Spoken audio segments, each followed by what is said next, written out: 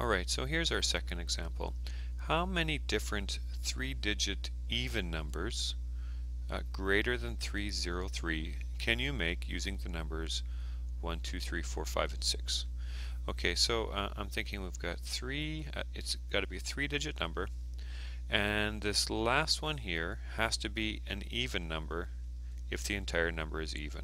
Okay, um, greater than 303, so that means this first one here can't be a 1 or a 2, has to be 3, 4, 5, and 6.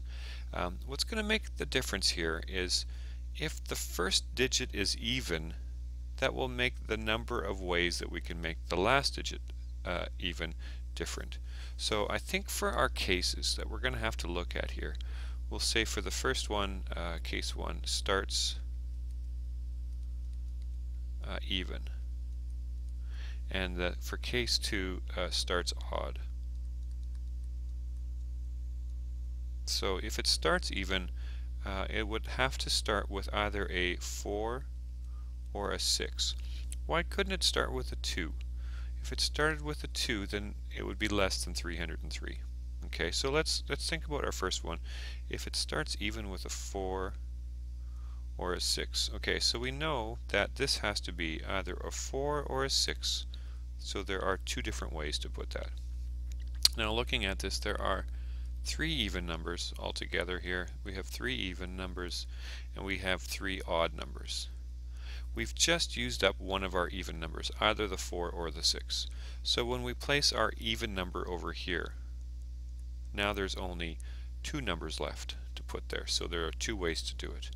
Now we can use any number. We can use even or odd. We've placed two numbers, so out of these six now, uh, 6 minus 2, there are four different numbers left so there are four different ways to put it in there. So if it if it's even, it's going to be 2 times 4 times 2. What is that? 8 times 2, that's 16. So for, for the first case, if it starts with a 4 or a 6, there are 16 different ways to do it. How about if it uh, starts with an odd? Now if it starts with an odd, it can't start with a 1. It has to start with either a 3 or a 5. I'll switch to green so we keep track of things a bit better. So we have these three digits here. So the first digit, like I said, has to be either the 3 or a 5, so there's two different ways to do that. Okay, so our last digit has to be even and there are three even digits and it doesn't matter which even digit that we use so there are three different ways we can put an even digit down there. And now we've used up two of them and just like before if there were six to begin with six minus two is four so there are four remaining now. So six times or two times four times three was that? Eight times three that's 24 so we have 24 for our second case and 16 for our first first case. I don't think we need another case in this uh, example. Uh, I'm going to stroke out the, the case. One thing that you'll notice that when you do some of these more complicated ones, and this is a complicated one, uh, there's more than one way to do it sometimes. Uh, I think we've captured all the different ways of doing this with our two cases. So our answer is going to be equal to uh, 16 plus 24, so that will give us 40 different ways to do it. Okay, um, let's go over to the your turn. It says, how many different three-digit multiples of 5 are possible using the digits 0, 2, 3, 5, and 8? Okay, so uh, in our previous example, uh, the reason why we had to do cases is because uh, we had to end with an even digit and so that if we started with an even digit there were fewer evens to place in that last spot. There's a similar situation going on here so we have three digits and our last one, if it's a multiple of 5, this one has to end in either a 5 or a 0, right? So we think about all the, the digits that are uh, multiples. I could start with 5, right? They always end in either a 5 or a 0. Uh, if they are three digits and they're using these numbers, uh, the restriction on the first one, it can't be 5, right? Or I'm sorry, it can't be zero. If we started our digit, our, our three-digit number with a zero, you know, say 0 to 5, uh, that's really 25. That's a two-digit number, so we can't use a zero here. Okay, so let's let's consider our two different ways here. If we uh, start with a, 5 or we start with a 0.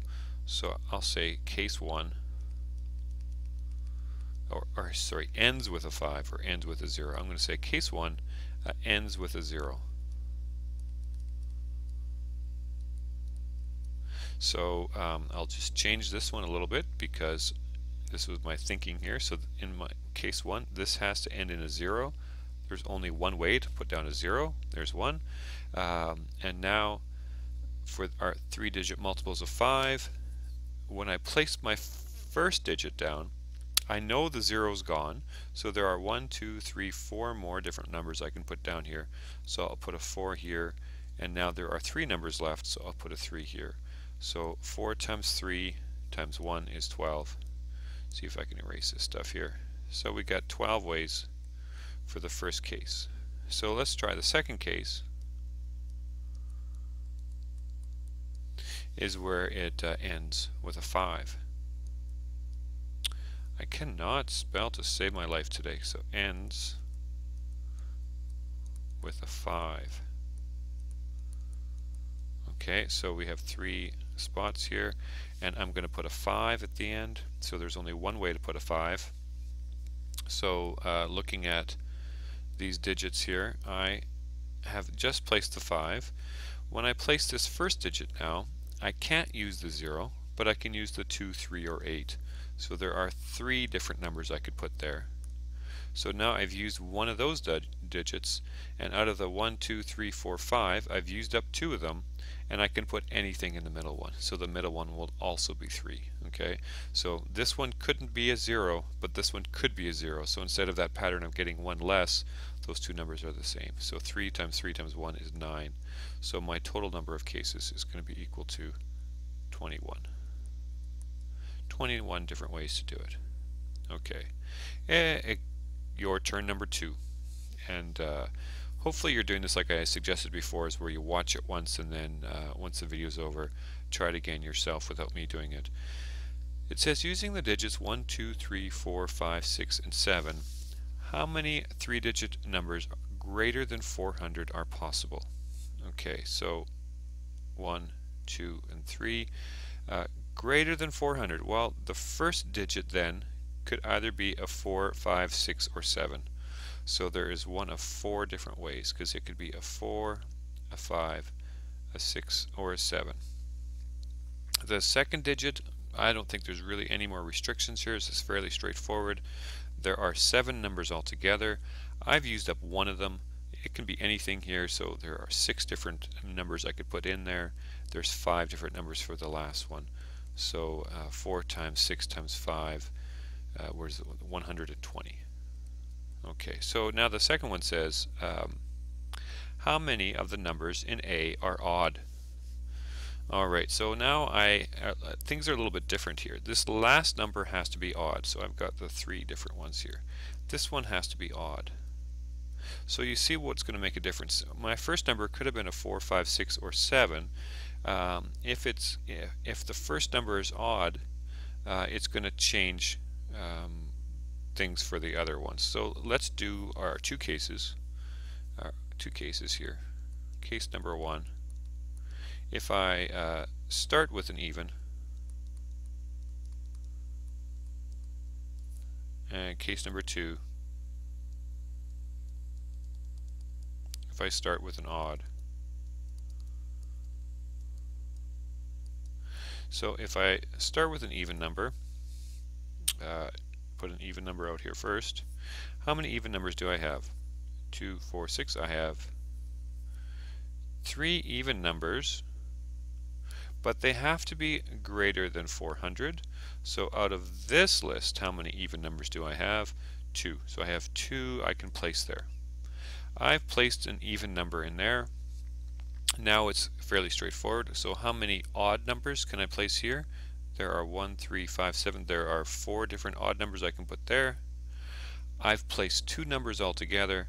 So out of the seven, so that means there are five remaining. So 2 times 5 times 4 so there's 40 different ways to do this starting uh, with an even number and where the last digit has to be odd.